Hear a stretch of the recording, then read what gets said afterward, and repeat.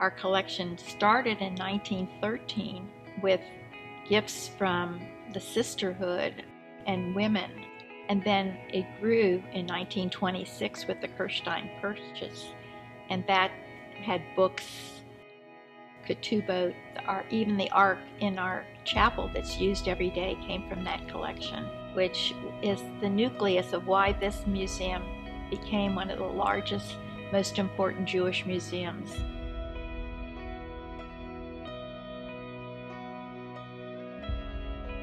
Well, there's nobody more important than Isaac Mayer Wise to the Reform movement and the Jewish world. I mean, portraiture was the way of remembering people in the 1800s.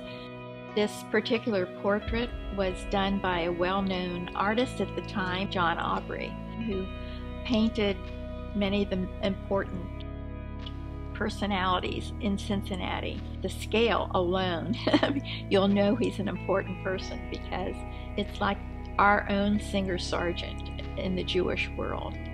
If you look at his facial expression, you can just see wisdom. We're happy to share this again.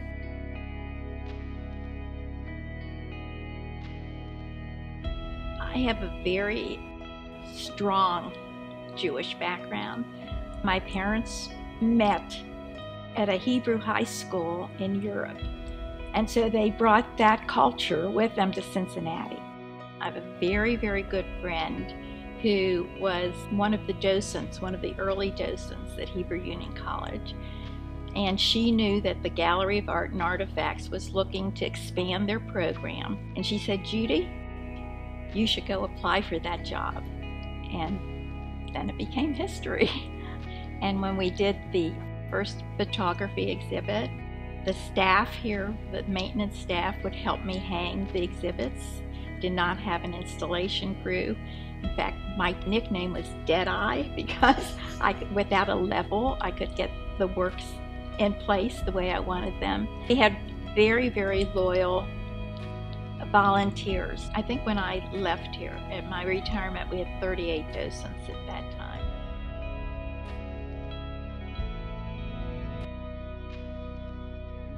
I was very excited to be able to write a letter so that we could get a deaccession from the Bergen-Belsen Museum. This is the portrait of one of our famous, well-known, well-liked professors, and that's Werner Weinberg.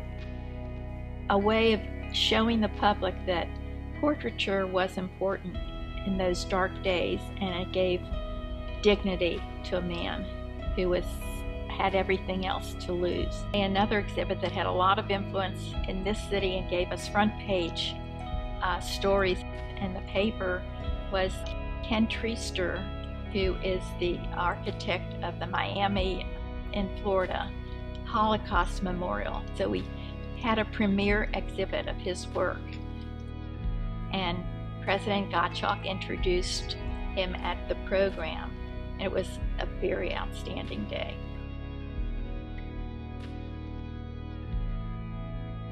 Really have a more international name now that the B'nai B'rith collection has is merged with our collection.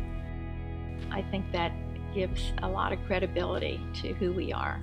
You're never going to get away from good programming. The strength of your museum is education as well as community involvement. We can always do better we are on the right track. We are doing really, really well right now.